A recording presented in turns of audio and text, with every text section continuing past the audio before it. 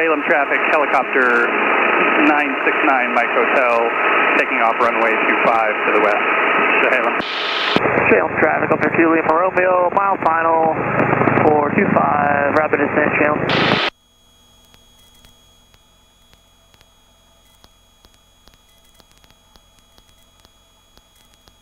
Very nice, 40 knots, we're out of that ground effect. And now 50 knots, 82, 84, that's excellent. And drop the power. And let's climb to 3000. Straight ahead. 3000 it is, sir.